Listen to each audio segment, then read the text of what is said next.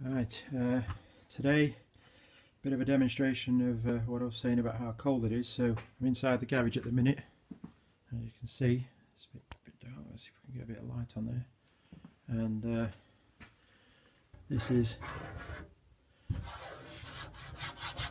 frost on the inside. Um, so when I'm breathing, it's oh, it's absolutely abysmal in here today. So we've got a few bits. Had a, a little trip to the DIY store yesterday. Got some uh, copper bends, solder, flux, so there's some hard clamps, and then uh, as we go down here, I've got some 22 mil copper pipe, and in this box, a rather welcome delivery. So uh, that's the intake pipe on there. Uh, clips and a, and a filter. Exhaust outlet.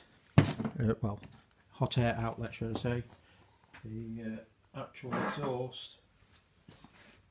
Exhaust pipe here. And then instructions etc. Some um, air, air intake pipe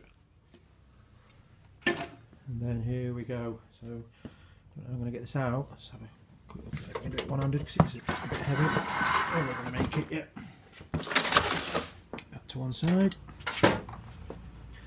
And here we have a diesel heater. 12 volt uh, there's a remote there. So you fill that with diesel. Connect this up to a 12 volt battery to get the feed underneath should see there you've got you can see the green fuel line and then the this here oops trying to do it one-handed. So that's your air intake that's your exhaust um, so I'm going to take the exhaust out the side. If we just go under the workbench so the heater's going to sit about here. I'm going to take the exhaust out the side round the back along the back of the wall, clamp it to the wall there, etc. Got a shift my compressor and welder. So I'm going to take it, quite a bit of movement to do, but I'm going to take it behind the, on the wall there, up. And I've got to work out then where I'm going to send it. So my thoughts are, obviously that's the cable, get rid of that. Send it along the wall, see if I can get a bit of light on there. Send it along the wall, might take it up round and then through the side of the window frame. So take it through there. Alternatively send it under the window frame and straight out of that wall outside. And then as it goes outside drop it down so no water can get in. But that's got to be you've got to exhaust the gases uh, the diesel gas like a car, you've got to send them um, to outside. Obviously, I don't want to get carbon monoxide poisoning from it. So that's today's job. Try and get some heat in here so it makes it a little bit more comfortable to work. So I'm going to start off by clearing the space. Don't know if I can actually record it because I've obviously got to put you guys somewhere. So what I think I'll do is clear under there, get rid of that lot, um, and then I'll put the heater on the top there on the bench we'll start looking at that. Um, and then what I'll probably do is give you some updates throughout uh, as to you know once I've got the video. So I've obviously not soldered uh, copper pipe before. I don't think it's any different to soldering wires but um, I've got the, the the kit and I've got a heat gun a blow gun. Um, so I think that's what we'll do. We'll, we'll make a start. I'll uh, clear under there and then I'll bring you back. Right I've mocked it up put it on a couple little bits of oops hold the camera straight. Put a couple little bits of wood. Um, I'm just going to put a couple of screws through there. Kind of figured it stops if there's any vibration takes a little bit of it out. And the actual plan is to put um, PVC floor down like the floor tiles. Because as you can see here we've got cracks in the concrete it's cold anyway with the cold coming up through the concrete. Um, and also if you're kneeling down and such it's quite uh, heavy duty on the knees. So as I say mocked it up giving enough clearance at the side of the bench. I've just loosely put the exhaust in place and it's also not catching the floor with it being on the little blocks of wood. So I'm going to send it to the back of the bench and then right angle it send it along that back probably underneath the, the back support leg. I'm not going to fasten it to that because I'm not quite sure how hot the exhaust will get. I'm told to get quite hot. So I'm actually going to fasten it to the wall with the brass clamps. So I think the next bit is to start measuring um, and get it done. There's some wire in here. So what I'm going to do is obviously make sure that doesn't get anywhere near the heat source down there. So I'll probably just bring that up and fasten it to that back leg and take it up towards the on the top here have uh, a couple of batteries uh, which I can then just keep them topped up and charged with the with the power source at the side there. Um, so right I'll get some measuring done and I'll probably bring you back um, if I get it on the stand camera on the stand I'll probably uh, do it while I'm doing some uh, soldering of the pipe work. Right so my first cut which is going to go along the back of this bench is 1.7 uh, meters um, so I've cut this to length. What I do find out is it's when you're doing stuff like this you find out what tools you do and don't have. So I've got plenty of 15 mil pipe cutters but no 22 mil pipe cutters. So I had to do it by hand. It's not the best but it's we're not running gas or water through it. So well we are running exhaust gases but we're not running natural gas. So I've kind of deburred it. Um, this is where I kind of put a bit of a, um, thing where I wish I'd paid a bit more attention to Matt Brown when he was doing the uh, plumbing in my house for me. Um, but I think I've remembered most of it so I know once you've cut it kind of just clean the edge just get rid of any oils and imperfections. So I've done that. Um, I've got my my copper 90 degrees. Let's try that so that goes on. So then I bought some lead free uh, soldering paste flux paste. This is where this might come a bit unglued but uh, we just smear some of that around the end I think. So once again apologies to Matt for not watching him very closely or learning but uh, I'm sure there's plenty of you out there shouting at the screen now saying you're doing that wrong or you're putting too much on but we'll see what happens. Next put the joints on just wait on the I've got a butane torch coming, so I'll have to use this one for now. So let's see if we can get this lit.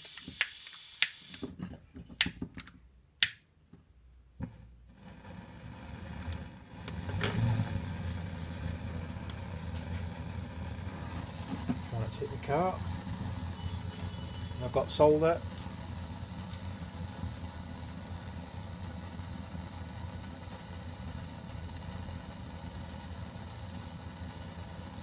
just got to heat it and let it run in, allegedly.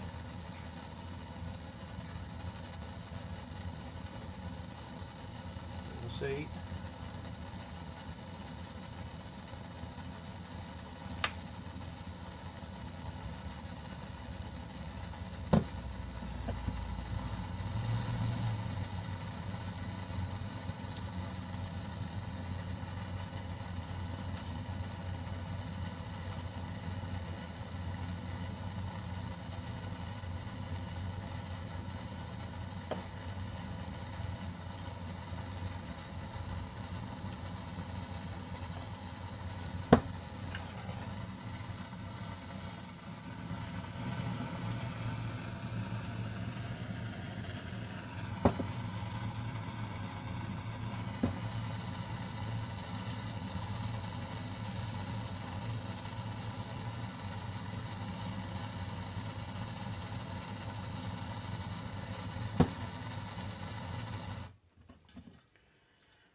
Well, first time ever, but I've got full solder all the way around. It's not the tidiest of jobs, but as I say, it's, it's not it's not like I'm doing it in my house. I'm running uh, gas through it, natural gas, so it'll do for what I need. Um, I'll let that cool and just test that, but that will be my first length that will go behind the um, bench like that, and I'll put a little section on there and join it to the exhaust pipe. What I'll probably do is take the exhaust pipe off, try and solder that together, and then I can put the exhaust pipe on. And it's got a um, Jubilee clip on there, like a clamp, um, so I'll be able to just wind that up. So my next job is once that's cooled at the other end, I'm going to basically put it at a 90 degrees, so it's going to go in that way. At the other end, it's going to go up. So at this end, we're going to be going upwards like that to send it up the back of the wall there and then I'll just do some cuts and then send it through. So yeah I'll carry on doing those and when we've done I'll bring you back and you can uh, ridicule or, or comment on uh, what sort of job you think I've made. And I've got a bit of an update. You can see in there. So I brazed you saw me braze that one in. In this corner here see if I can uh, be a bit more light it's not really so I've got the pipe running in through here. Then I fastened it along the back clamped it on. It goes into that corner. Uh, very poor light apologies. And then basically send it up. It comes just under the ledge. So I'm hoping there's enough heat will have dissipated out of the pipe by then. See if I can get you some more light. Um, and I've actually found a hole right in the corner of the windowsill. So that might be, it's gone through the first course where the breeze block so I've only got the stone to drill through. So I think I'm going to send it through there save some drilling my window frames and such like. So all I've got to do now is make so is make that section there and then through and then connect my exhaust well, the, you can see glimmer there. Connect that exhaust pipe up to the heater and then start wiring the heater up. So apologies on the poor light on that. Um, I think I might have to get myself an additional light but uh, I'll just cut the next pieces and then uh, I'll show you when we bring you back in a minute. So hopefully you can see that. So this down the bottom there is going to fit down there in the corner and then we've got some weird and wonderful angles which when we put it in place will go around the window ledge um, and then it'll drop out there through the frame. Um, I just got to do drill a hole through the frame and then put a, a, piece of pipe on there and solder that on and then clamp all this up then we're ready to go. So we're getting there.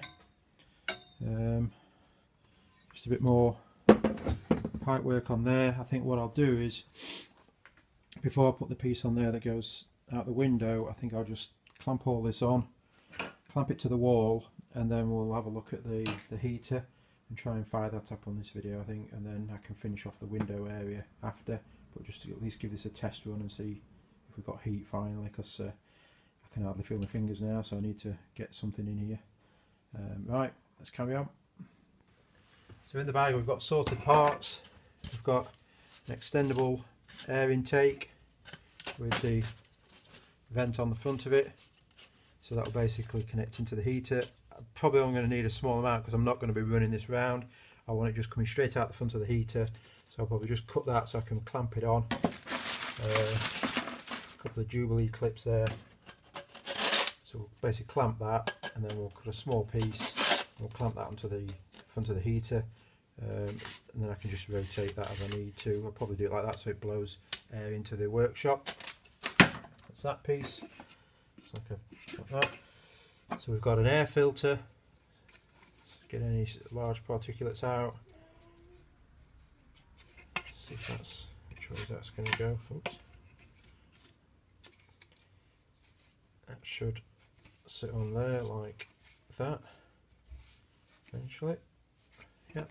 So that's going to go underneath. And I'll probably just tie that to the leg of the workbench. That's going to sit under the uh, heater, sucking in cold air. See what we've got. So we've got a pipe clamp anyway for this. Yeah, I think it is. Got a couple of Jubilee clips. So I can fasten that on the top and I can clamp it underneath. It's deformed a bit, but that clamp onto the uh, pipe underneath. Got another one. These aren't very good quality, I'll be honest. Um, I think the heater, I'm in the UK, the heater cost me a hundred pounds. So it's, it's, I think the, the, class is Chinese diesel heaters um, on the T5 VW forums. Um, these aren't great, so I've got some better ones. I'll probably use them. Looks like we've got four nuts and bolts for bolting it to the floor, or if you were going to bolt it to a, inside a van, and bolt it to the floor. But I'm just going to pin it to that wood, so I'll probably put some self tappers in. Um, I think this might be for the, actually these will probably be for the um, exhaust, metal exhaust pipe. I'm not going to bother using those because as we've run the copper pipe already. So all I need to do is secure that to secure the exhaust around the bottom of the heater, which I'll show you in a bit, and then clamp it, or I might try and solder it onto the copper wire, uh, copper pipe that I've got. So I think what we'll do is we'll get the heater up on the bench. I can start cutting these and putting these on. Um, I'll probably put the exhaust pipe on um, and then I can just, like I say, finish it off to put it onto the copper. Run the wires up the back of the bench so I can get them onto a battery and then we're good to go. So let's get on with that. Right, got it up on the bench, got the little blocks of wood as I said, not the nothing other than just to give me a little bit more ground clearance, um, just so I can get the pipes and they're not touching the floor. Um, and also it might reduce a little bit of the vibration because I'm not actually bolting this down. So I've got a couple of little self-tapping screws, there's no real pressure or, or, force on it, so I just need to uh, just pop them in just to give me some ground clearance. Screwdriver. So the screws are quite small, so I've just put a couple of little washers on there as well. Yep.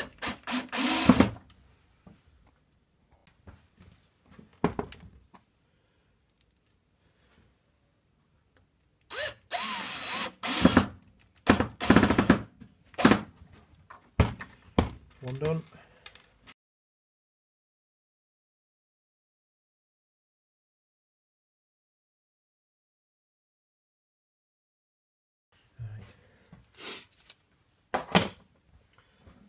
Turn this on its side.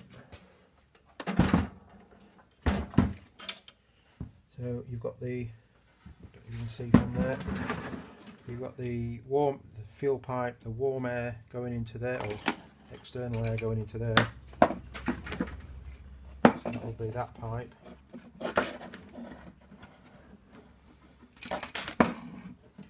Um, and then the exhaust going there. Just that clip. Take off.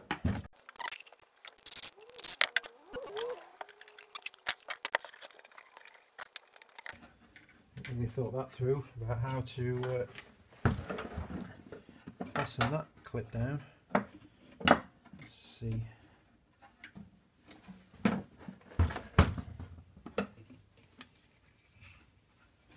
That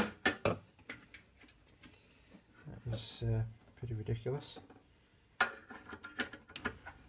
They've left a slot. Maybe. Uh, yep, do it.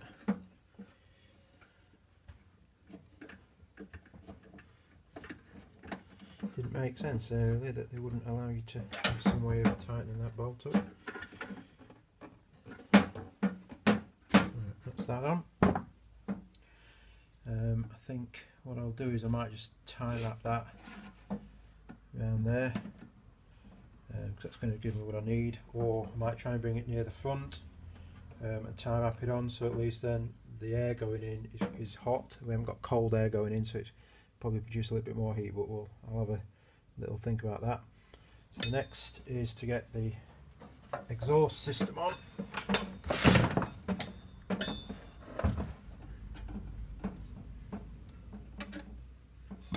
I'm going to get a better Jubilee clip for that one Right, so we've got a better one. So that's the back. Going to go like that.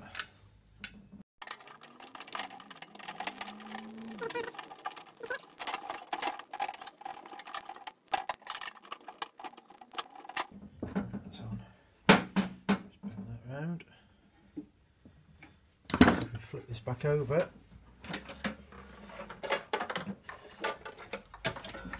Should see now we've got our exhaust going out the side, not too near to the heater.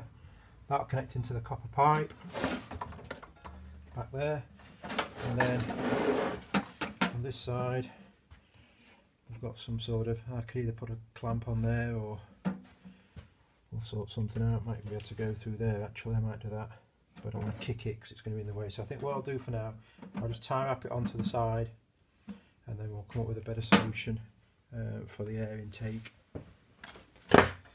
Got a little, comes with a remote control as well. Um, I'm thinking that comes out of there. So I mean if I wanted to mount it somewhere, so I don't know if there's an extra wire. That's the control panel. I'll put that back in because I'm going to need that. Um, next, got the heater thing on. So I don't think this fits. No, it's the same diameter. So I'm going to have to put some of this pipe. I'll fasten that on first.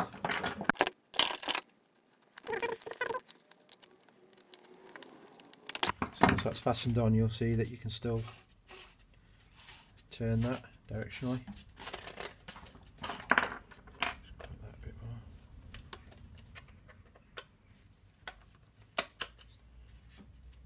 it. Stops the, the body was moving before but then you can just turn the, the heat and blow it wherever you want. So I think we need just a very small amount I think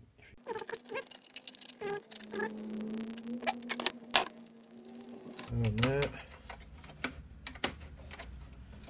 I say for my purposes it's not the you know it's not really tidy and neat but as I say, it's going to be under a bench out of the way. And let my OCD will kick in, so I want to bury those so I can. That turns as I want it. Excellent, all that facing up. So going to the back of it, back of the machine, we've got plenty of cable.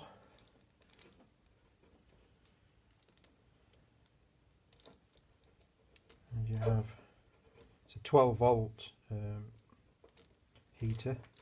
So you've got an inline as it looks like an inline fuse. Yep that's 20 amp inline fuse in there so all I'll do is I'm going to bring those up put a couple of terminating connectors on but uh, screw connectors so I can plug them onto the battery. It's got to be at least a metre of cables, that's plenty. So we'll chuck that underneath. What I'll do is I'll try and get a light and get you underneath as well.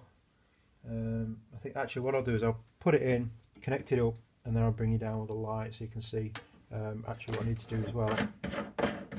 It's a diesel heater, so I've got uh, 10 litres, 2 gallons of diesel. I'll probably just put a couple of litres in first just so to test it and run it um, and then we can go from there.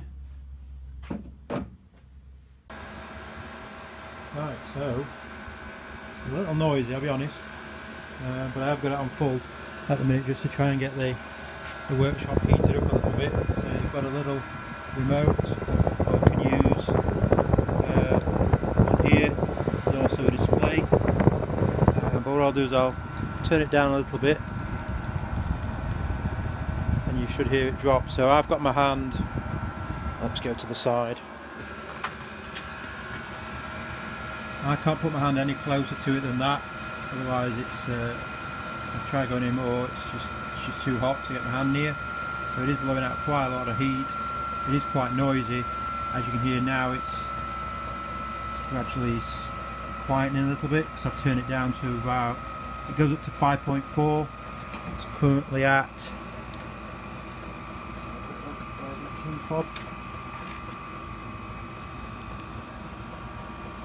Currently at 3.9 um, and it's still dropping down a bit on the on the noise. Uh, then if we just look outside, I've had to extend the pipe. Couldn't get that side window open, so I've just extended the pipe, and then you can see outside.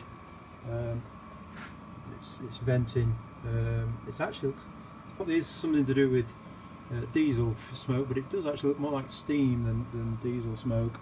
Uh, one thing I have noticed, obviously forget the whole bodged uh, bend in the thing and all this sort of stuff, that's all going when, when that goes straight out there, but is that this is actually, it's too hot to touch.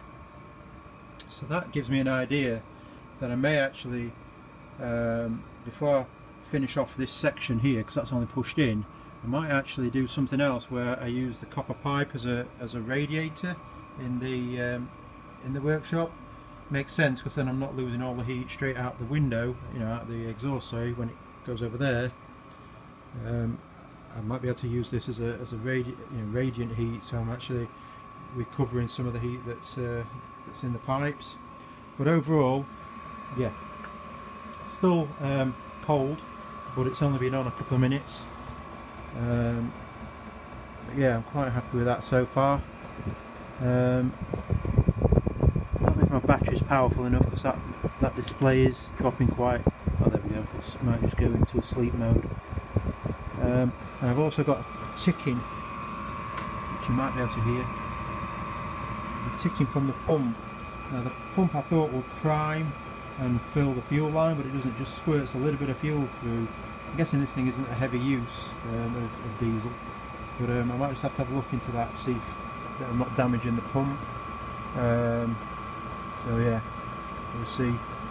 Um, yeah, so far happy with it. Um, plenty of heat. We'll just see how we get on. I'll just leave it running for an hour and see what happens. But uh, yeah, overall, good install. Hope you've enjoyed it. It's you know, just a little bit something different to the bikes. Um, hopefully means I can do a bit more when the weather's bad in here. Um, and also it's a good trial for me because I want to put one of these in the van, but maybe not this all in one unit. You can get it where the, the pump on the bottom and the tank is, sort of in, in, separate, so you can mount it in a, in a better space, or you know, I can put the tank underneath the van. Um, so that might be something I'll look at in the future. But uh, thanks for being with me. Hope it's been useful, um, if not fun. Um, and I'll see you next time. Cheers. Bye.